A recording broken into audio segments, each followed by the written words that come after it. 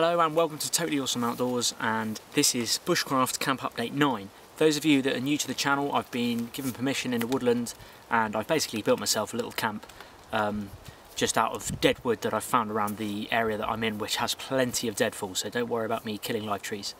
Um, it's been a bit of fun, I'm not a bushcraft expert, I say that in my other videos. I'm just out here in the woods trying to teach myself bushcraft really and learn new skills along the way and hopefully um, try and get them across in videos to you guys as well so that knowledge isn't lost.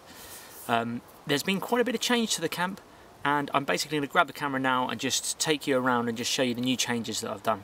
Okay, so probably the biggest change that I've done is actually my main shelter. I've completely revamped it, started from scratch. Um, originally I had a ridge pole going this way, you'll see in the previous camp update videos, and it was kind of falling down there, it was all sagging and it wasn't looking right. So this one's not complete, but it is uh, the, the skeletons there and you can get the idea. This is hopefully going to be my primary shelter uh, but my other one is actually really good so I'm not sure which one yet to make the primary shelter. But all I've done is just lashed on a couple of logs under here some sort of big long logs, two long logs there and the reason I've got two going onto my wall is that actually I now have an overlap with this tarp which obviously I need to pull forward and organise. Uh, but I then have an overlap which means that when I do put a raised bed under there be, I'll be completely protected from the rain. And I'm going to obviously I've built another wall here which just blocks in the side there but also as I go to put the uh, debris on there and all the dead leaves and things like that to build it up I can just use that wall that side wall to help build that those layers up of dead leaves and things like that bracken and it just builds it up and it keeps it all on top of my shelter here. Uh, yeah this is the cooking crane that I built in the previous camp update video the oars crane and I showed you how I built that. And that's my fire pit there again in one of the previous camp update videos. You can watch how I built that. And this actually just swings on a pivots on an axis like this so I can swing it out the way nice and easily.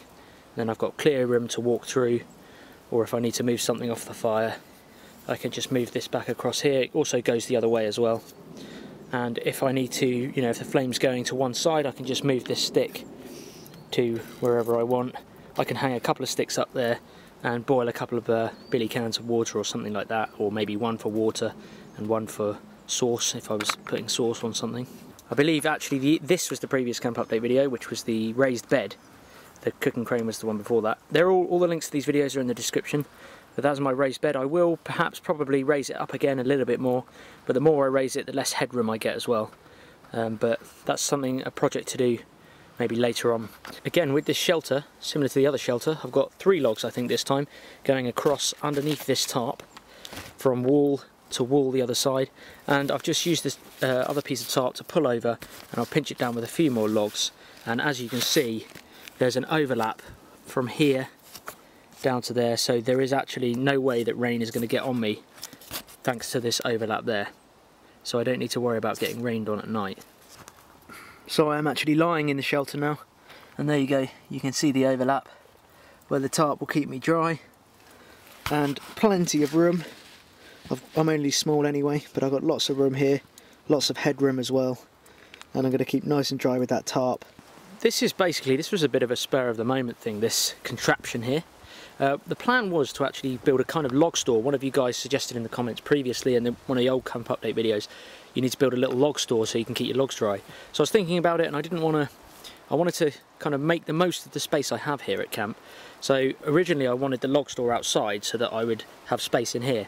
But then I figured actually I could get the best of both worlds and have the log store out there and then still have a dry storing space here. And the way that this actually works is because they're quite heavy, they're overlapping a lot this end, they were lifting up this end, so I just pinched them and lashed them in here with uh, another log just across there to stop that. I do have more to do on this, very similar to the other side in that corner, and just get a horizontal log under there, another on top, and just pinch it all closed. And then I'll properly close in the side, close in the other side, and that will be my log store, and everything will keep nice and dry underneath there. Another addition to the camp uh, is the side walls which I built on my secondary shelter. And you can see those just here. They just carry on. Rather than uh, putting double logs in these are just single logs all the way around. And I've still got um, foliage and things like that to build up deadfall and everything like that to put lots of dead bracken lots of dead leaves up over this. But these side walls the way the reason I built them like that is because they will help to keep all that dead leaves and everything like that it keeps it all in place Here's the other side wall that I built. Again, it's just mirroring the other one. It keeps the shelter in, all enclosed, mainly to keep my dog from wandering out because I need this whole camp to be completely sealed so that he doesn't wander out because he's only a puppy. This is the camp from this angle and actually you can see that it's almost all enclosed. That is my entrance over there where I am going to build something to stop the dog getting out. But it's pretty much all this section is enclosed and this shelter, hopefully you will agree, is much better than my previous shelter that I had there. Thank you very much for watching the camp update uh, 9. It's been a real good adventure this, I've really enjoyed it and I've had incredible feedback from you guys. As I say, I'm just having a bit of fun out here in the woods. I come here when I can on weekends and just I'm basically setting this the idea was that I could set this camp up so that I have an area that I can go to to then practice my bushcraft but I've learnt the bushcraft along the way uh, but the idea is this camp is just somewhere where I can come it's peaceful it's out the way it's away from people and I can practice bushcraft and just learn new skills. Obviously you can just go out in the woods and do that or you can even do it in your back garden.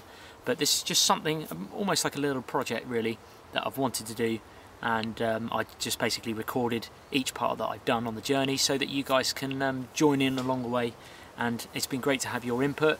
A lot of you have given some suggestions uh, to what you would add to the camp. But I'd just like to say thank you very much to everyone who subscribed to the channel. Uh, please give the video a thumbs up, uh, share it with your friends and things like that and I'll see you soon for the next camp update video.